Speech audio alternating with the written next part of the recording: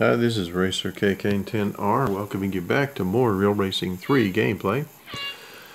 We're working on the video for the endurance races and this video will concentrate on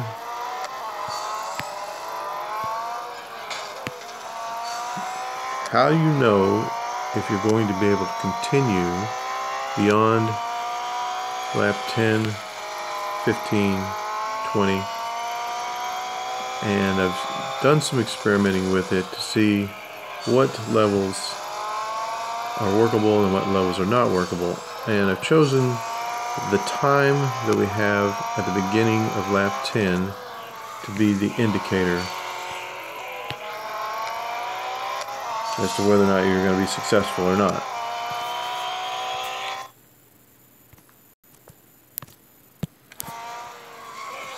Pretty obvious, I think, that if you have 90, 80 or 90 seconds at the time you got to the 10th lap, that there should be, that's the maximum you can have. There should be no trouble continuing. Here we have lap 10, we've got 41 seconds. It's also, not maybe not as obvious, but it's also possible, I have actually uh, done this um, achievement to start the 10th lap with 52 seconds and still be able to continue after lap 15. But with lower, the way we're starting now, 41, it is very difficult. I'm going to do the best I can to try to continue, but between lap 10 and 15, there is um, a slowdown and a, spare, a sparseness of the cars that you can have to add add time to your um, running time. And you see we're down in the 30s already, and we got no cars ahead of us here.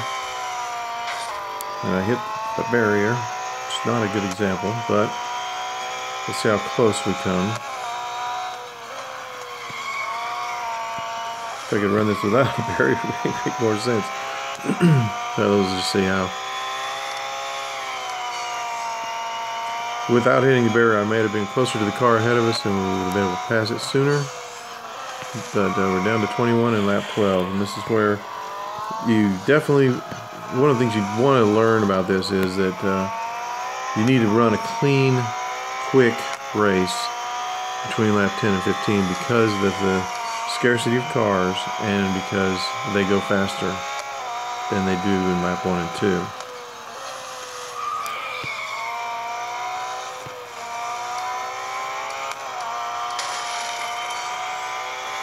A few cars there are, and it's just difficult to keep a time up.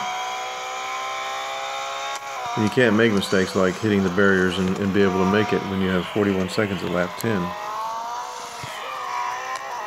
This section here is a long section without a car, and uh, it's just even if I were able to pass that car ahead and get 10 more seconds, and I probably would have been able to if I hadn't hit the barriers in the tail uh, um, bumpers. Then uh, would have been able to continue further, but I don't think I would have made it past lap 18 or 19. In our next example, I'm going to see what I can do to get 60 to 70 seconds at lap 10, and we can see how that can be successful. It appears we're coming into the beginning of lap 10, and we'll have about, we'll have exactly 59 seconds maybe 69 depending on how you count it because we just passed a car. But 59 or 69 seconds is about the threshold at which you're going to have success and below you'll have failure and above you'll have success. So let's see if we can demonstrate a successful continuation of the endurance past lap 15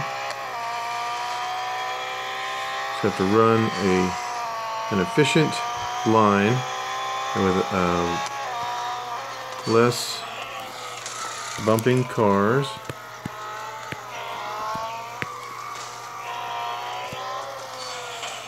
And no barriers, no barriers stopping you for sure.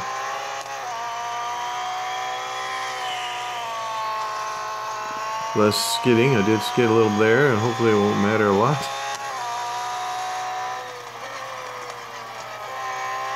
Going inside here. So there's usually two cars in your view most times, and in this area it seems like there's only one at a time.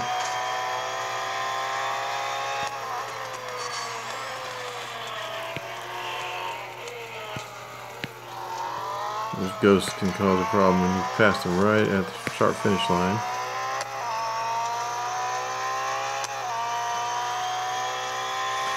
Usually you can see two, three cars, sometimes four in this area. Right now I'm only seeing two. But since you can see those two cars, we'll probably be able to pass those two. And since we passed one at the start finish, that means we'll have a three car overtake lap. And give us, uh, going about 30, 42.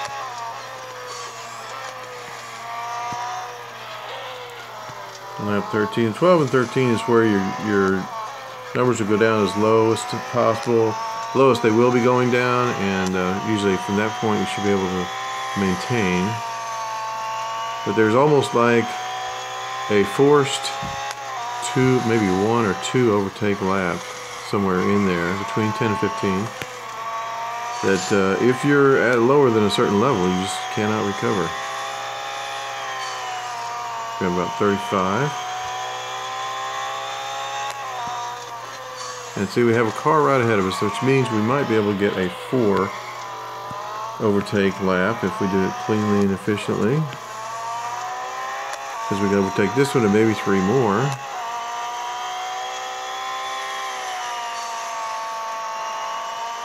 You can see one, but hmm, know, maybe we'll just get three this lap and see if we can get a four lapper next time.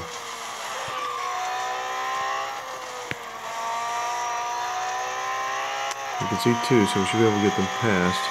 Nope, we're not going to pass it. Well, we're going to have to scramble and get a four here to stay alive. It's uh, pretty touch and go when you're close to the line.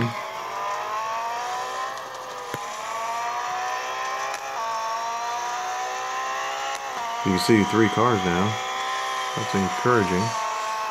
See three cars still. You know we passed one. Going inside.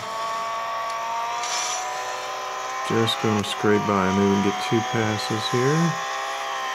Yes, now we got a little bit of cushion, but we still need to see if we get another four overtake lap. We've got three cars we can see here. That's pretty good in this view. Right now we can see four cars in this view. So uh, if you can see four cars right here, then pretty good if you do a, a good uh, run And I'm not doing that great of a run, but we'll see if we can still pull out at least three. We get three and maybe four. We still three, still see three cars. We got our four laps, so we're up. Gonna be about 47. Yes, in lap 17. So that's an example of successfully making through laps 10 through 15. We got a couple of four overtake laps, and we see cars where it's conceivable that we can continue to con um, overtake three cars, maintaining the time, and then occasionally do a four lap, which means we'll increase our time and be able to continue running the endurance.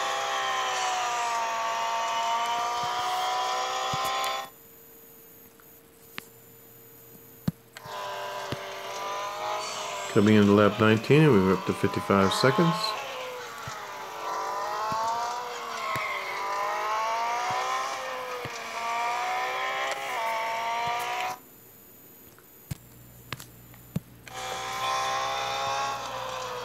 Lap 25, we have 63 seconds.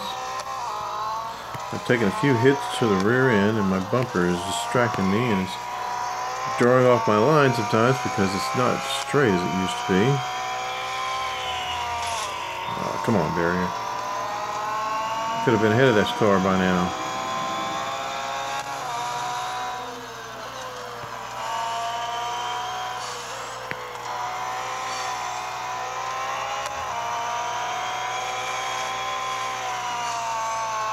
There's a normal lap to get our three overtakes on the side before the front start finish line.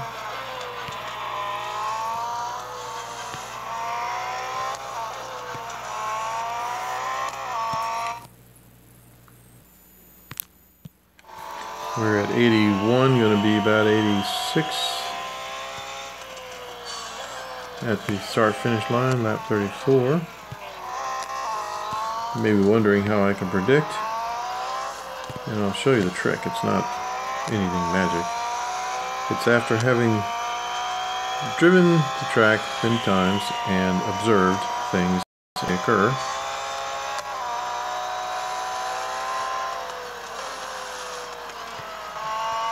When you get through the grass ahead,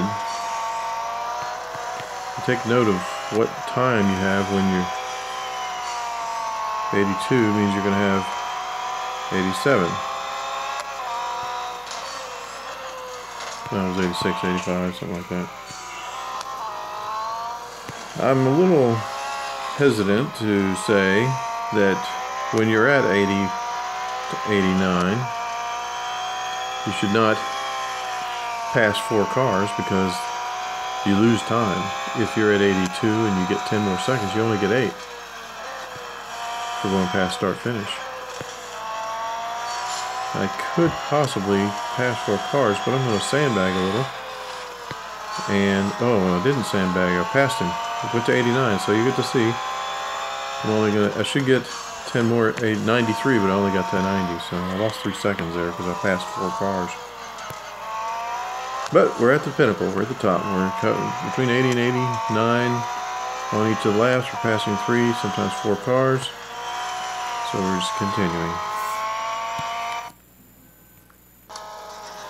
Well, I had three bad laps in a row, and I think I had a one lap where I only overtook one, and the others I only overtook two, so lost 40 seconds and wasn't able to recover it, but we did get a good length on the race.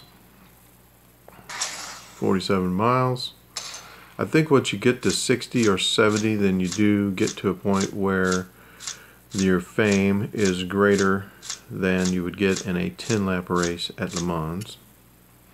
So that's what your aim is for the days when you can get duplicate double I put on a 100% uh, fame bonus, and uh, if you get a double fame day and you can put on the manager, or I mean the agent, then you get four times, and if you can go longer than you can get uh, distance on a 10 lap Le Mans, then you get more uh, service. I mean, not service. I maintain my service. That's what I was seeing on the screen. You get more fame pay.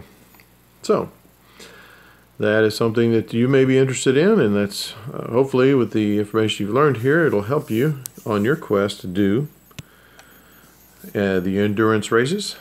This is Racer KCain10r thanking you for watching my videos. Good luck to you, you, you in your races, and come back and see what the channel has coming up in the future.